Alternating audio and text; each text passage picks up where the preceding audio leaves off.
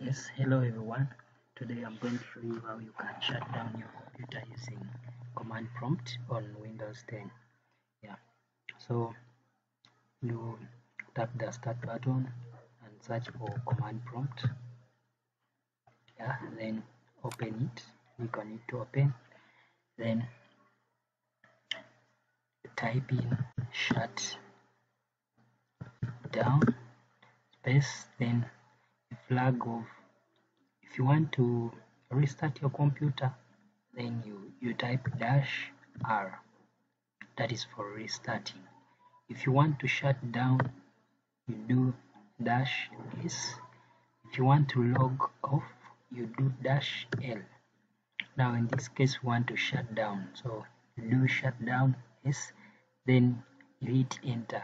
But if you hit enter it's going to take one minute by default because you're supposed to specify by the time but in case you don't specify it's going to take one minute and the computer shuts down. So in order for you to adjust that time you use another flag which is dash t. Then you type in the number of seconds that you want your computer to take in order for it to shut down. If you want to take one minute you type 60 seconds. If you want it to take 5 minutes. Type 300 seconds. If you want to take it like 10 minutes you type 600 seconds.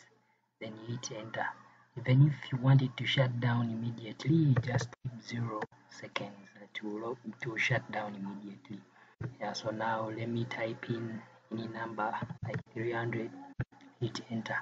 Then to show me windows will shut down in 5 minutes yeah so then you can continue doing whatever you're doing then after five minutes or when it reaches like two minutes to to the time of shutting down to run again then it shuts down. Or now if you want to to cancel to cancel that shutting down what you need to type is shut down dash a. Hit enter. To say that log off is cancelled. Yeah thank you for watching. Like this video in case you want me to make more videos. Subscribe to my channel for more tech tips. Thank you